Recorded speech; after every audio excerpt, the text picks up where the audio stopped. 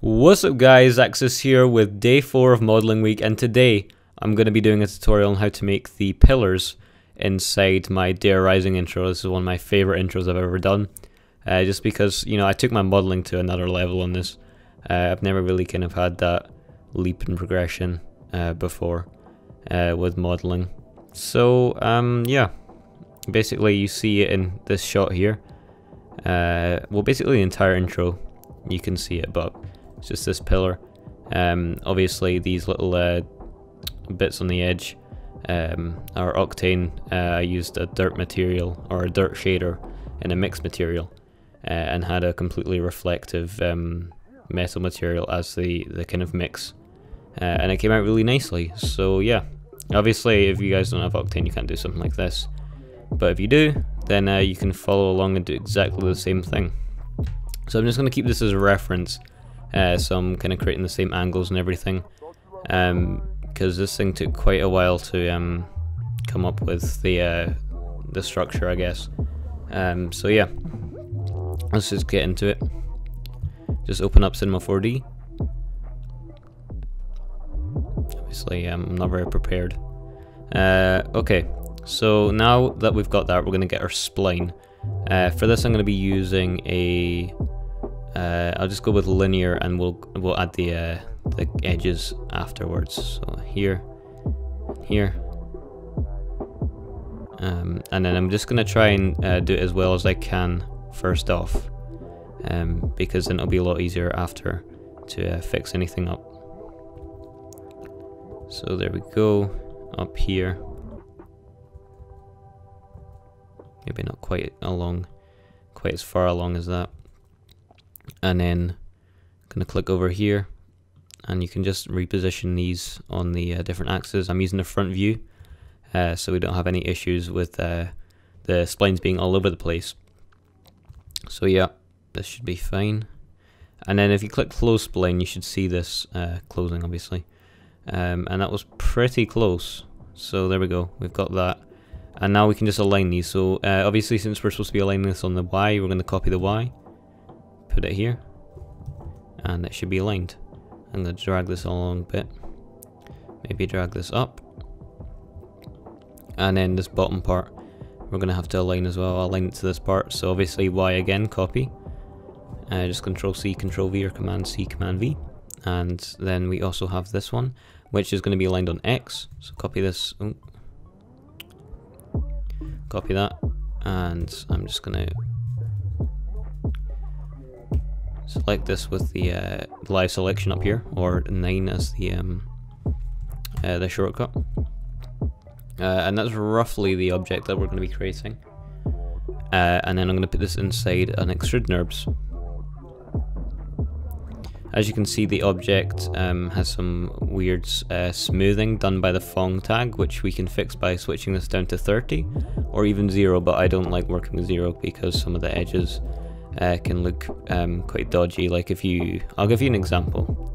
So if you have like a, a, a cylinder and we put this on uh, 30, it doesn't look that bad. There's you can't see the edges um, on the object, but if you put it to zero, you can see all the different polygons that this is made up of and all the segments. So you have to turn this up to actually make this look good.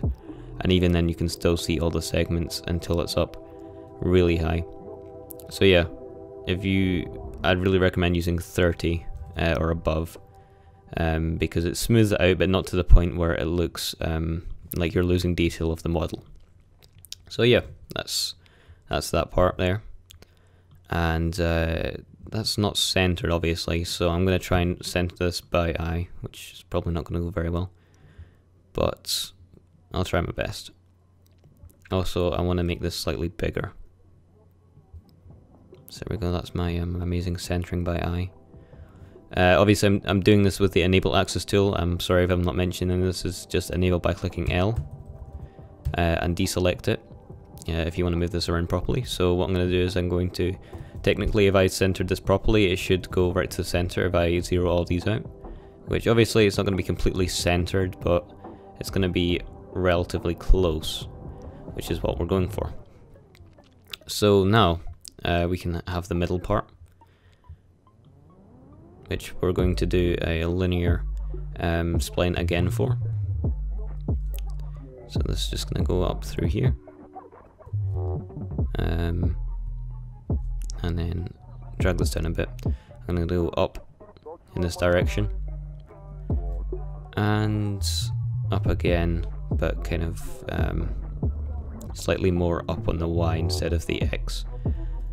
Uh, and then back down to around this point here, which we'll, we can easily match up after we've finished this, but this is just a rough draft. I feel like it's a lot easier just to do a rough draft first, and then uh, put all the coordinates in after. So yeah, there we go. This isn't perfect, but it's pretty close to the original. And then we're going to obviously close spline so we can put this in extrude NURBS. And then uh, up here, there's some chamfering. So uh, chamfering, probably the best tool in the spline arsenal that you've got here. Uh, you just right click, make sure points mode selected so you can select the points you want. And as you can see, you can create lovely, perfectly round edges without having to use the uh, the annoying uh, Bezier tool. Uh, so again, I'm going to do this but on a slightly bigger scale on the chamfer. So we can uh, move this slightly so it knows um, knows that we're wanting to use those points, and then we can drag them out even further. And then again, uh, we are going to center these uh, or make these points kind of central to the whole object. So I'm going to match these ones because it'll be a lot less of uh, a lot less hassle to do these points rather than having to change one and then uh, you know adjust everything else. So I've obviously made it all the same Y point over here. So as, we, as we've got that, we can even do the bottom if you want it to be perfect. Uh, that's probably it, I'm going to say. Uh, and everything else is centered um, relative to the object, obviously. And then what I'm going to do is I'm going to move this back. Put this in an extrude and drag it out. So it's going to rotate around, and see that? That looks pretty accurate. Um, also what I did was I put a, uh, a hole into this object which is going to require a, uh, a, a bool a boolean object so I'm going to hold alt on here you can also use the knife tool but um, by just selecting this polygon after making this editable, which would be a lot cleaner way of doing it, but um, I think that's the way, I might have been the way I did it in the original, but I don't remember. And then we're going to try and roughly get this correct on the rotation. So as you can see, we're just going to go into the front view, because it's a lot easier to reference something. And then I'm going to increase the Y Obviously the uh, radius is a bit too big on this, so we're going to have to go down and then we can adjust this later.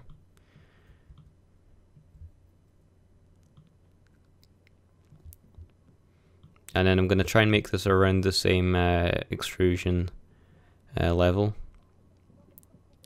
as the other object, but not quite the same. As you can see that um, that rotation is pretty accurate as well.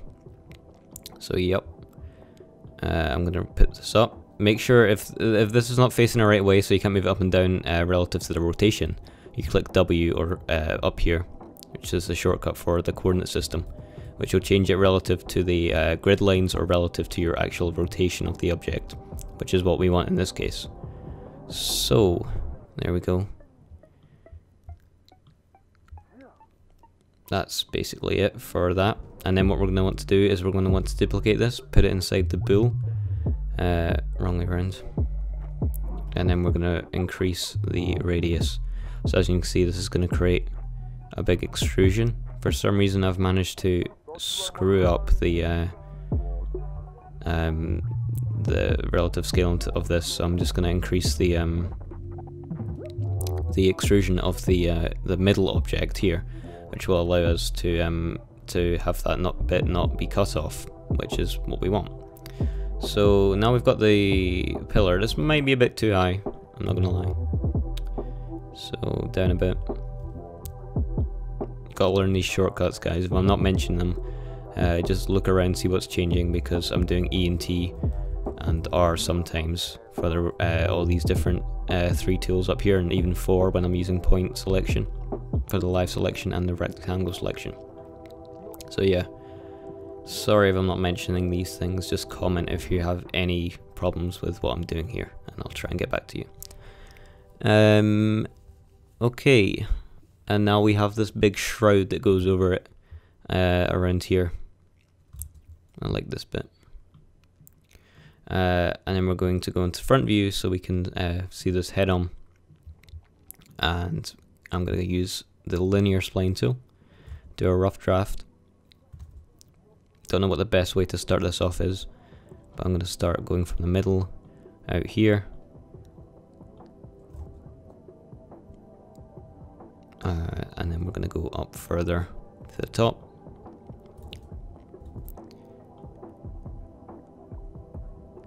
Hmm.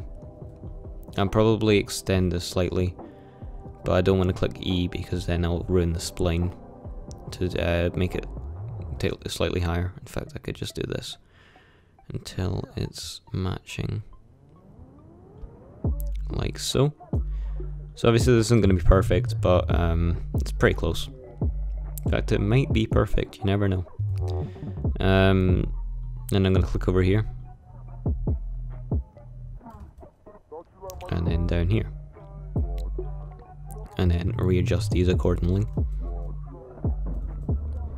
And just right across here.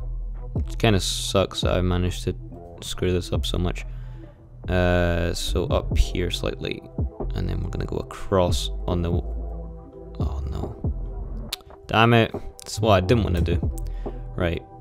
So, gonna have to restart this. If you click any of the other points, it ends your spline and it's really irritating. If you guys have any tips for this, if you know how to fix this, then please comment them because it's a bane of my existence. Uh, right, so up here, and then across, doing it slightly quicker, like down there. And just screw this up royally. Um, and then close spline and then try and match the uh, diagonal. There we go. And now what we can do is we can click E without uh, destroying our spline and drag this bit out and also match these on the Y. Also, I want to make sure that this is out slightly further to match the other side. Gonna be symmetrical here. So that's pretty much what I'm going for. Um, yeah, I think that's it. And then we can put this in an extrude. Uh, so I'm going to go into the top view just to uh, reposition this slightly, and it's going to be, I'm going to drag it back on the Z, just slightly outside the object, increase the uh, the depth until it reaches the other side, and that looks about right.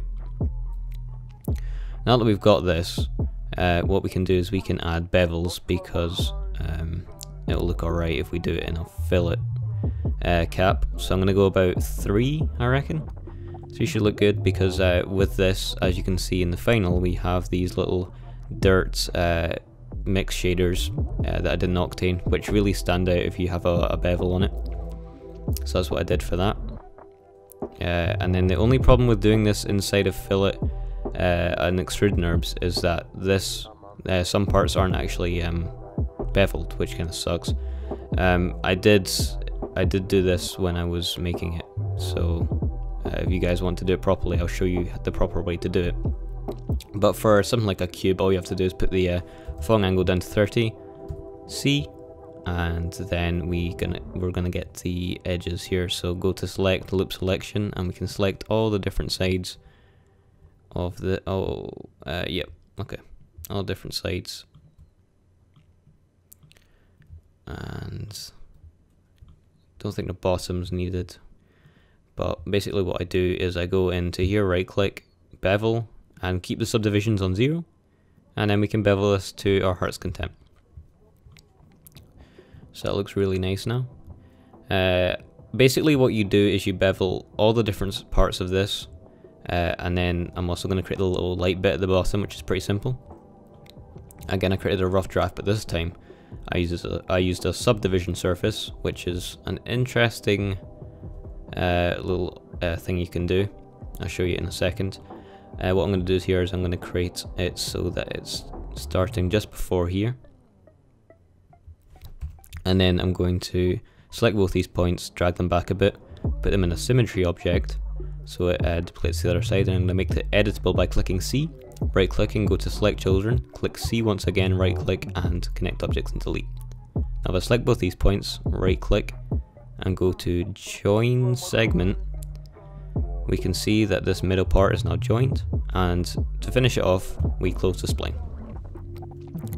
And now we're going to put this in extrude NURBS uh, and drag this out on the top. Oops actually put it in the extrude make sure you're holding alt so I'm going to drag this back sorry if it's a bit cluttered and you can't really see put this on uh, uh, the second mode here uh, and then I'm going to go into the active view. God damn, I duplicated it. And I'm just going to rotate around this so I can see it a bit better. Uh, you don't really need to uh, bother about the bottom that much because of the fact that this is going to be in the ground. So um, if you want it to be perfect, then just move this up obviously, but I'm not really going to bother about making everything all perfect. Um, and there's a couple more elements you can add here, like you can extrude some bits of this. I might just extrude this one bit just to uh, show you how to do this. Uh, I'm going to click C, go to select children, right click, uh, uh and then press C after you've selected children, right click, uh, and then connect objects and delete. And then we can go into here. And then I'm going to scale this down according to where I want it to be and then I'm going to bring this out. I'm going to uh, bevel this. Obviously I need to change the Phong tag. And there we have a little perfect bevel. And here at the bottom I did some knife cuts. So if I just do the same process, right click, select children, uh, see uh, connect objects and delete. What I can do is I can go and click M and then K right after each other. Uh, and what I can do is I can go and get a loop uh, you can do this perfectly by uh, uh, making sure you select the offsets and everything, but I'm just going to do this by hand. So if I click E, then I can go and do this, um, and then I can just bring this in slightly and extrude it, like so. And I'd also bevel the edges. I also beveled the edges of all parts of this using the same technique by putting the subdivisions on zero. Uh, and back to the light object that we have here. I'm going to put this on a subdivision surface. It might not look good at the start because we haven't added cuts, but what we have to do is do the same process of clicking C, right clicking, select children, C again, right click and connect objects and delete. Now if we do MK to bring up the knife, what we can do is we can uh, click shift and go to 95 on the offset while we're on the loop mode. And as you can see, I am creating these points which are allowing the object to actually work. Uh, if I put this in a connect object, it might also help the case. Doesn't seem to be actually. Never mind about that. Uh, and then I'm going to go back to the knife tool, and then I'm going to maybe go... It doesn't really matter where I click it. I'm going to see what I managed to screw up on. So I'm going to right click select children because I've managed to uh, go back too far. I'm going to click on the knife again. I'm going to go to plane this time because then it will select all kind of regions of this. And then I'm going to go to objects and then plane. Uh, and then also on the plane we're going to switch it to Y uh, and Z. And then, as you can see, we're creating this object like this. I'm going to go do this both uh, sides and we've got this kind of rounded object here that looks quite nice. We might also add an object up here, a little cut up here and a cut on the opposite side as well. This would be better just to do the symmetry first Uh, I mean, after we've done this, but, um, you know, I didn't really think this through. So, uh, then in the middle, we're going to get the little light cut. So we'll go to YZ. Uh, wait, no, I mean XZ. And here and here should be fine. And then if I select the middle, and then just click T, hold command while I scale this down, and then scale it in a bit. In fact, wait a second. What I could do is I could scale it in slightly more, just so the extrusion looks alright. Double click on the bottom, create a material, and drag the material onto this little light bit. So then you can just replace the material in the end if you want to use it. Um, and then also we might want to add some more cuts, just to make sure that this looks alright.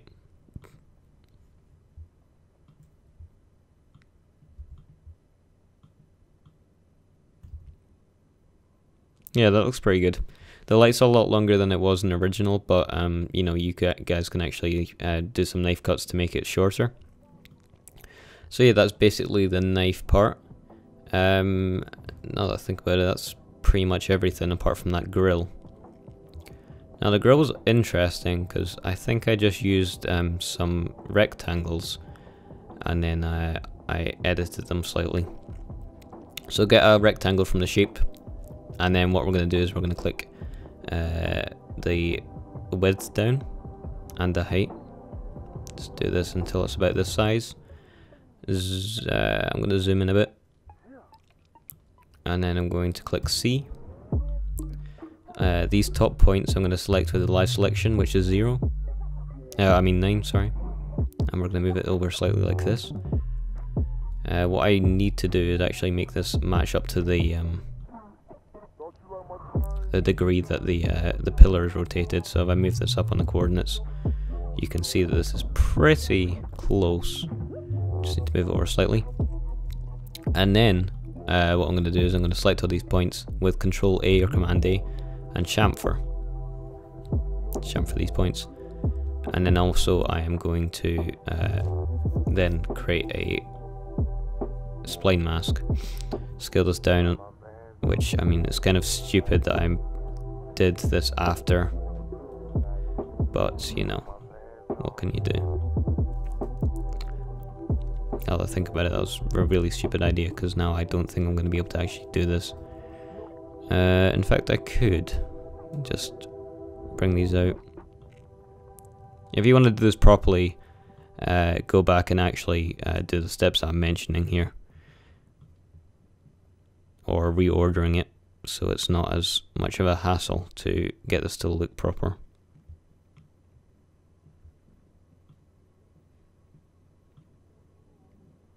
I'm also going to create a duplicate of this because we're going to need it for later. I'm going to group these as well with uh, selecting them and then clicking uh, uh, Control G or Alt G. I think that's the one. Yeah, that's it. So now that we've done that, we're going to bring this out over here. Going to put this inside an extrude while holding Alt. See a bit too extreme on the on this. I'm going to bring this uh, this one that we copied back a bit, and then I'm going to put it in an extrude. Now uh, we can also add caps to the outer object, which I'm going to do. One and one should look fine, and I'm going to put the steps up to five each. And then from here, I'm going to make the copy uh, editable with clicking C, right click, select children, C again, right click, and connect objects and delete. And we have this one object here, which we can select with the uh, the polygon tool. Uh, click on the knife, and we're going to go to X1. No, we're not. I'm going to go to XZ and we're going to turn up the cuts to about 50 to just see what we've got going on. This could work. And I'm just going to click there. You can also change the spacing. Knife tools are a really versatile tool. I really like it. And then we're going to right click, go to extrude inner and uncheck uh, preserve groups while I do this. And there we go. We've got the little vents that we're wanting going to drag these out and then I'm also going to bevel them making sure that the subdivisions are actually turned up this time. For some reason I managed to select some wrong points here, but I guess just gonna have to deal with that. You guys could actually select the edges and make this look actually good, but um, I managed to screw it up. Anyway, um, now I'm going to move this back slightly in space on the Z. And then on the front view, I'm going to bring it up to its uh, position it was in the original. It's about here. So there we go. That's basically all you need to do for this, apart from some bevels I missed on the uh, main objects, um, which would have made the tutorial a lot longer. Uh, this is pretty much all I did for the pillars, and uh, I just cloned them along the edges. So if you guys enjoyed this stuff, uh, don't forget to leave a like and comment. Uh, if you want any other tutorials, um, then I'll probably do them in a few weeks, because these are all pre-recorded because it's a lot easier to put out a week series if you pre-record. Um, so yeah, if you guys enjoyed this, remember to uh, sub as well because you will not want to miss the rest of this series uh, because there's another um, couple of days left of this. Uh, and also you can check out the other videos uh, that will be in the cards in the top right. So I hope you guys enjoyed this and I'll see you guys in the next video.